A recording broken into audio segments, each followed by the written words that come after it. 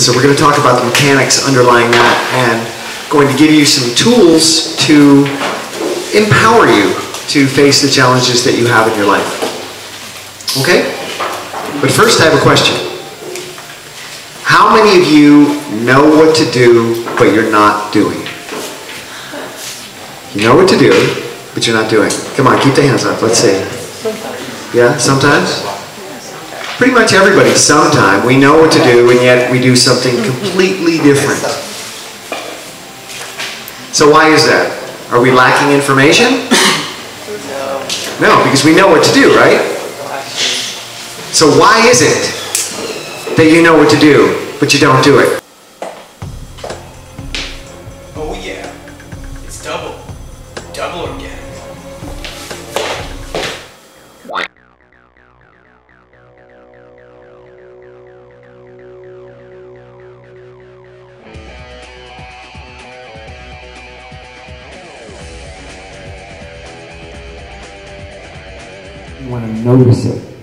Want to develop awareness of it.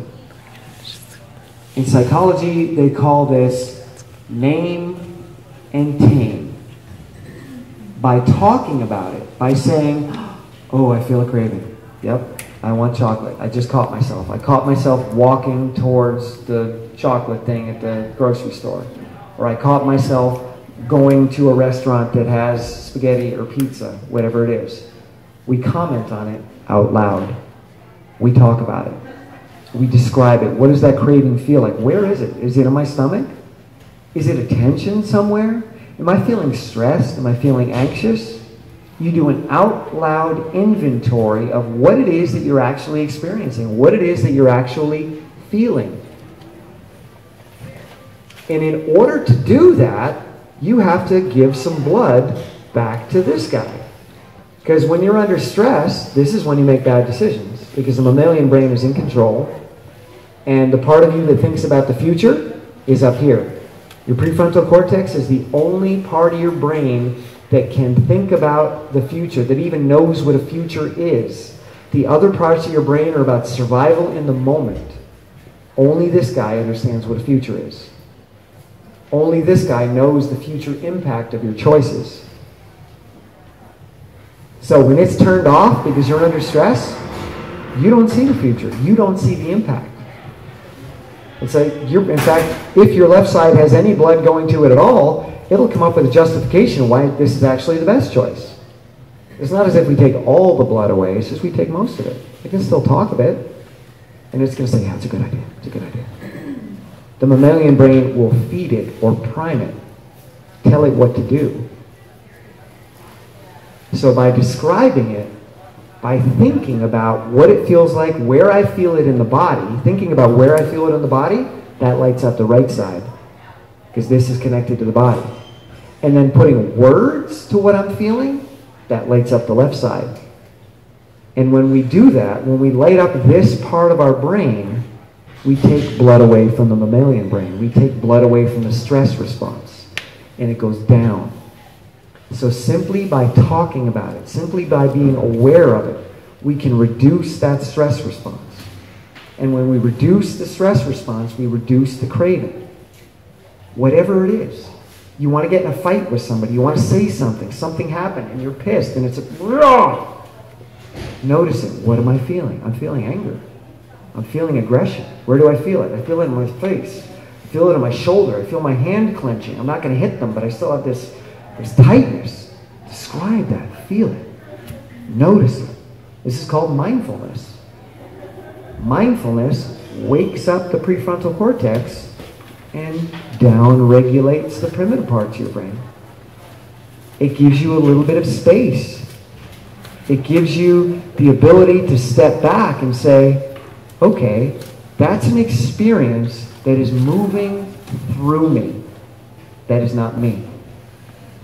It's moving through me. It's a wave that is moving through the ocean. It is not my identity. It is something that I'm rising and falling on. Ooh, I'm rising on anger. I'm rising on anxiety. And there it goes. If you can give yourself that space by describing what it is that you're feeling, describing where you're feeling it, you can give yourself enough space to often, but not always, bypass that impulse, bypass that craving. It takes about 90 seconds for the chemicals that your body produces that causes you to crave, that causes you to move, causes you to react. It takes about 90 seconds for them to leave the bloodstream. If you don't act in that 90 seconds, that wave will go down. For some people, it might be a little bit longer, but it's not super long. So we want to see it as an experience that moves through us rather than as us. I'm a bad person. I'm a weak person. I can't keep to this. I have no discipline. I have no willpower. Instead, we say, here's an emotional experience that's moving through me because a dent was triggered which caused me some form of stress. And it might not even really be a dent. I walk by and I say hi to someone, and or it might not be a, a legitimate threat. I'm walking by, I say, "Hey, how you doing?" and they don't respond. What does that mean? Did they not like me? Did I do something wrong? Or maybe they just didn't hear me. Again, our, our left brain makes up stories about what just happened.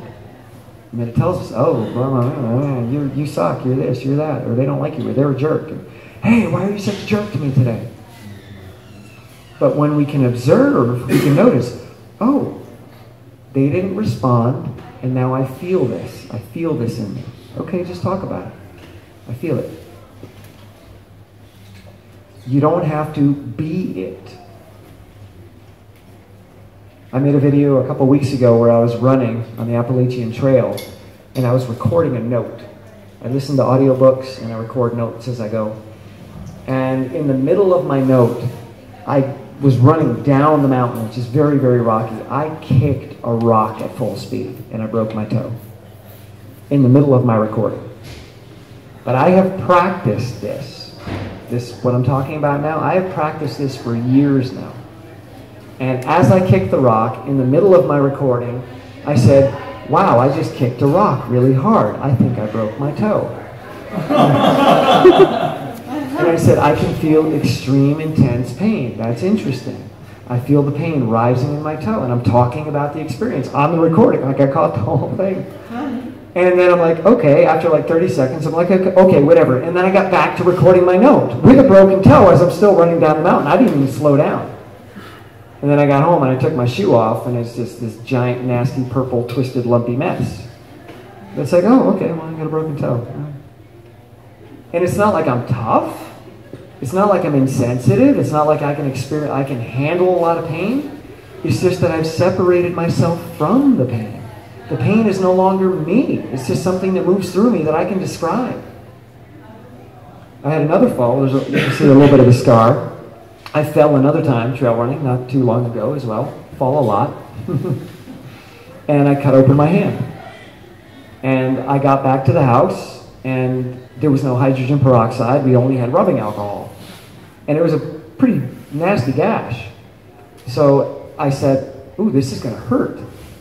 But I said to myself, you know, this is not the kind of pain of damage. This is not a pain that's a threat to me.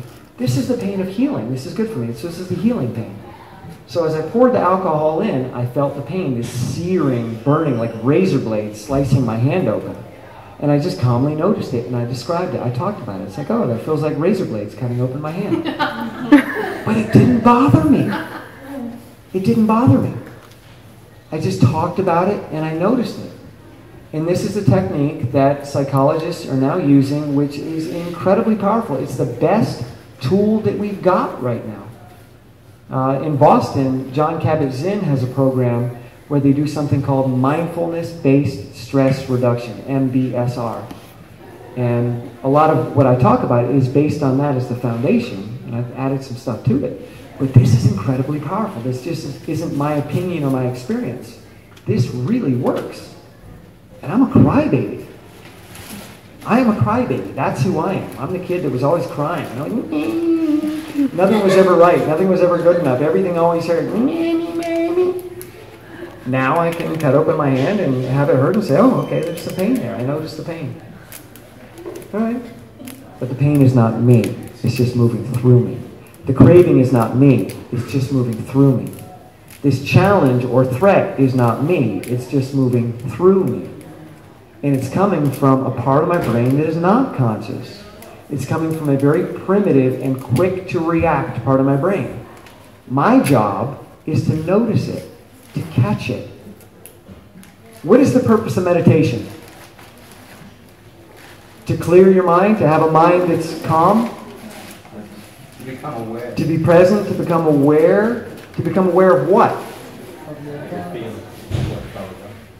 Aware of your thoughts, aware of your feelings. People think that meditation is all about sitting in a lotus position all blissed out. I'm calm, I'm peaceful, my mind is totally at ease. That's not the purpose of meditation. The purpose of meditation is to catch yourself thinking, to catch yourself ruminating. That's the purpose. Not to eliminate it, to catch it. When people try to eliminate it, it comes back. Ironic rebound, that beach ball. If you try to say, don't think about that, don't think about that, don't think about that, what's going to happen? You're going to think about it. So meditation is just noticing I had a thought. Don't make a story about the thought. Don't let the left brain go off and create a story. Just, I had a thought. There's another one. Oh, I just cut myself. I had a thought. Oh, there's some pain. Oh, there's some anger. Oh, there's some pizza cravings. It's about catching yourself.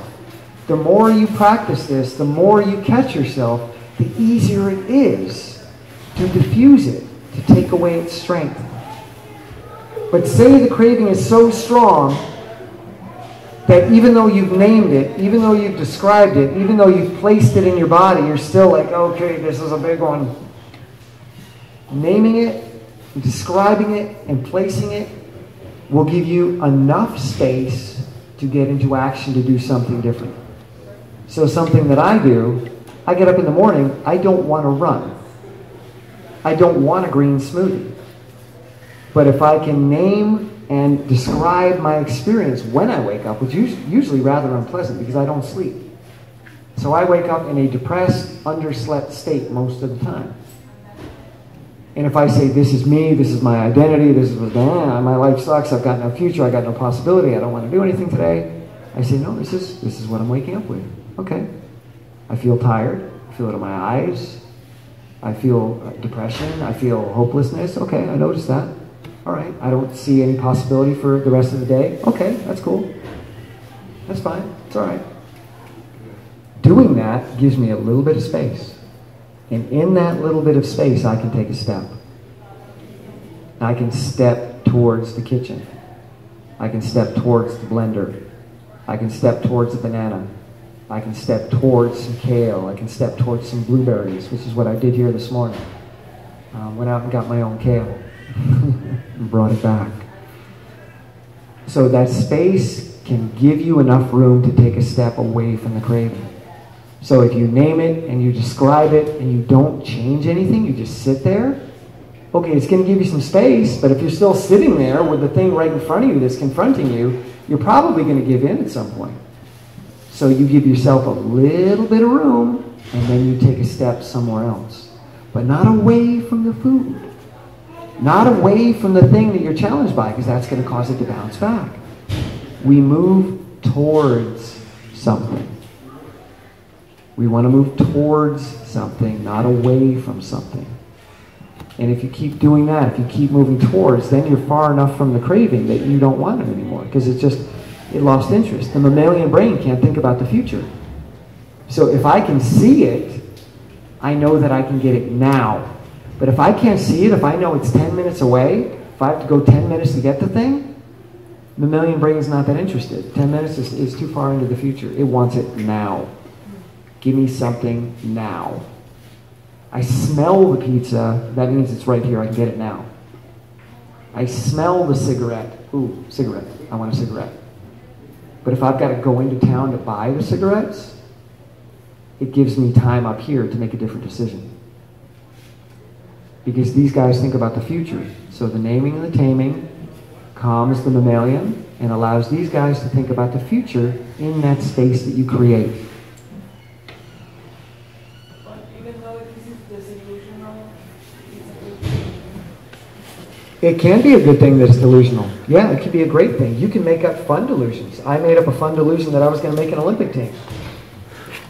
It's a delusion, but it got me here today. It got me into this great project over the last 10 years that has allowed me to, to become somebody that I never imagined possible. Didn't make an Olympic team, but I created all kinds of really cool stuff in the process. So that was a great delusion to have. But I also got the crap kicked out of me along the way. And this is where I started coming up with these tools. Because I kept getting beaten down. And my depression would be right there waiting, like with open arms. Come, come to Papa. We'll take care of you. Let's just lie in bed forever and never do anything again. So I started researching, started studying, started coming up with these tools to find a way to get me in action again and again and again. So I don't have discipline. When I run every day, it's not discipline. It's describing what I'm feeling, placing it in my body, and then taking a single baby step in the space that's created. And then doing that again and again and again. I don't have to run 20 miles. I just have to put my shorts on. I then have to put my shoes on. I then have to put my shirt on. I then have to put my watch on. That's a hell of a lot easier than running 20 miles. I have to open the door. I have to pick up my foot. I have to lean forward. I have to fall and take a single step. And then I take another one. And then I take another one. And then before you know it, I'm running and I forget the fact that I didn't want to run. And now I'm just running. I'm engaged. But there's a, there's, there's a consequence to your running. You, you feel good at it, you run. So, When I run, the depression's gone. It's gone. It- It's gone for the rest of the day. So there's a huge benefit. So that space, by the naming and the describing, I create a space that allows me to take the steps to get prepared to run or prepared to do whatever you want. And now that I baby step myself through the preparation process, being very gentle, being very kind, and acknowledging what I'm feeling. Okay, I feel uneasy right now. Great, that's okay. I just it's okay. And I say that to myself. It's okay, Tim. It's okay. It's okay. So, doing this process, you can accomplish just about anything. If I can become the athlete that I became, can become the student that I became, that I am now, with the life that I have in the past, the history that I have in the past, anybody can do it. I'm one of the toughest cases I've ever met. So I know it works. I mean, it's not just me. The data out there, the studies are doing show that it works, but I've tested it out and it works. So no matter what you're facing, knowing that it's not your fault, knowing that you've been dented and you've got this identity that you didn't choose that just happened to you, knowing that you've got these different brain regions that want different things, and knowing that by using the smartest part of your brain to talk about what's happening allows you to regain control and see a future again. And when you can see that future, you're more likely to make a choice that's in alignment with your more positive goals. So that you can be compassionate, not just with yourself in the moment, but so that you can be compassionate with yourself in the future. Because if what you're doing is only about how I feel right now, well, what about the guy that I become 20 years from now? What will he think about the guy 20 years ago that made the choices that put him in the state that he's in? Am I going to set him up for success? Or am I going to set him up to fail? So when you wake this part of the brain up, you can see that future and you can be compassionate with the feelings that you have now and with the person that will have to deal with the consequences of your actions in the future. Okay? That's uh, wow, that's an hour and 20 minutes. So I'm going to stop the talk, but I'll answer questions. I'm proud to announce the release of my free raw recipe app. Do you want over 100 original raw food recipes in the palm of your hand? Click the links to download or search Double Organic on your phone. Oh, yeah, it's Double Organic. Did you know I offer raw food coaching? Comment, like, share, and subscribe. Got epic recipes, fitness, and raw food motivation. Connect with me on Facebook, Instagram, and of course, YouTube. Whoa, look at all those recipes. Those look tasty. Give me some of that.